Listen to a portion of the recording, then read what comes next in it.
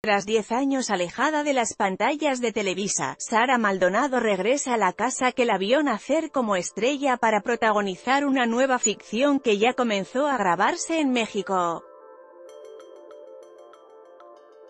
Hablamos de la versión mexicana de la exitosa serie española de ciencia ficción Los Protegidos, la cual narra la historia de un grupo de personas que se tiene que hacer pasar por una familia con el objetivo de huir de una extraña organización que los busca por los poderes sobrenaturales que posee muchos de sus miembros, Edit Post.